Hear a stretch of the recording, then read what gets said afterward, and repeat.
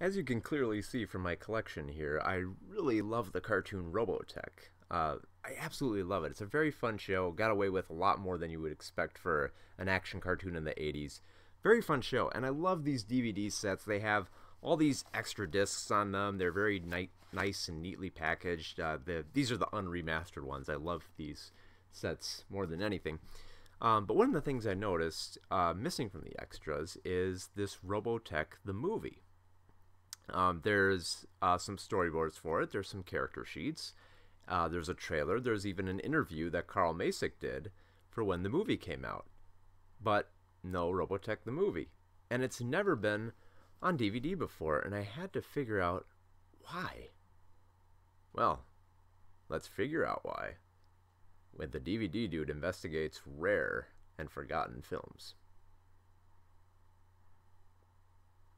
In 1985, Harmony Gold's Robotech had become a syndication hit. Not unlike Voltron, it was a show assembled from various Japanese animated series that included Macross, Southern Cross, and Mospeada. The three series were rewritten into an English script so that all three series, which originally had nothing to do with each other, would cover a generation of alien invasions on Earth and intergalactic war. Coupled with a very successful toy campaign, Robotech was admired by young and old alike for its soap opera style storytelling, adventurous action, and honesty about the toll of combat, in which characters actually died. You didn't see that in a lot of cartoons at the time, especially from Voltron, which tried to cover it up as much as possible. The 85 episode series became an overnight success, which would have led to a 65 episode sequel series, but we'll save that tragic tale for another day. The following year, in 1986, Robotech series producer Carl Macek pitched the idea of a Robotech movie to Cannon Films.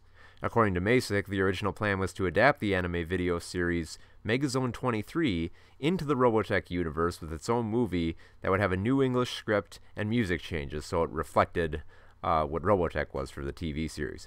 Basically, they were going to give Megazone 23 the Robotech treatment that they gave to Macross and Mospeada and all that.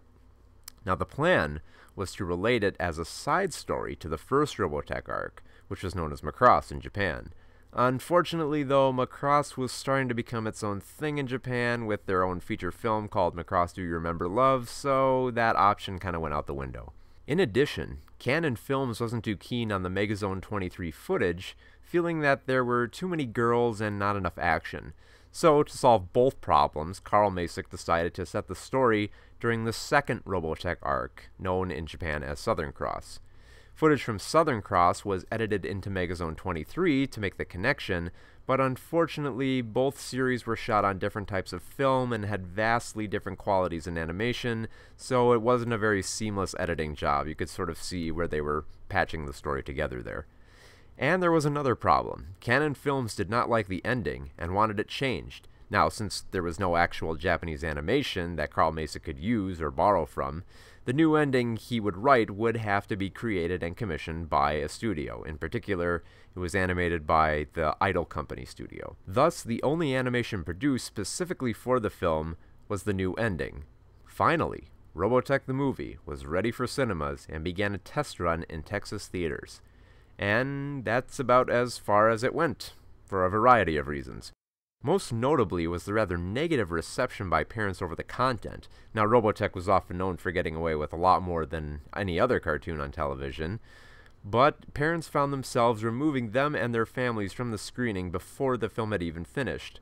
Other reasons included the competition at the time with a little film called Transformers the Movie, and though Macek claimed that the film did okay financially compared to the film Pirates that was also playing at the time, that's hardly worth praising as much. And lastly, the film didn't have much advertising, with commercials only airing in Robotech's regional time slot of 6 a.m. on weekdays. After its limited run in Texas, Robotech the movie did not expand into cinemas throughout the country, nor did it ever receive a home video release. However, the movie did quite well internationally in several countries of both South America and Europe. So successful that these territories saw home video release, though it was short lived since Macek relinquished the rights to Megazone 23 in an attempt to wash his hands of the project and just sort of forget about it.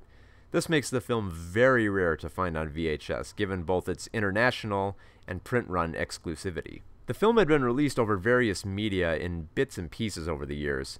Now, for ADV Films, on their first DVD release of the Robotech series in 2001, a host of special features from the film were included, such as the trailer, a public access interview with Carl Macek promoting the movie, and even the original animatic for the different ending that was commissioned.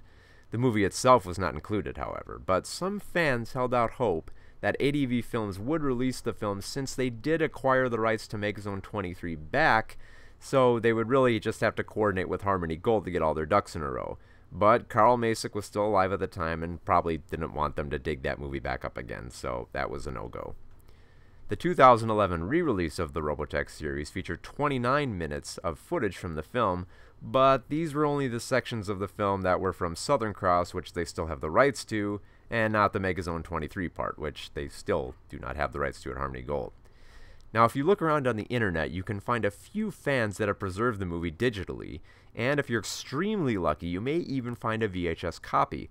And I suppose that if Harmony Gold put some effort into buying back the rights to Megazone 23, they could re release the film on DVD, but it seems unlikely given Macek's desire to write the film off as an error that he would rather be left forgotten, even though he's died since then. And Harmony Gold seems to have much more on their plate at the time since they're trying to make a new Robotech movie for live action. Robotech the movie will go down as one of the strange concoctions of the Robotech franchise from Cannon Films that may not be quite worth seeking out, but if you're really into Robotech as much as I am, it might be worth viewing once or twice.